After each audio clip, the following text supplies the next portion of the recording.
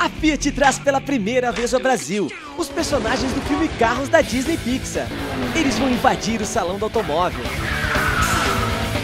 Relâmpago McQueen e Luigi te esperam no estande da Fiat.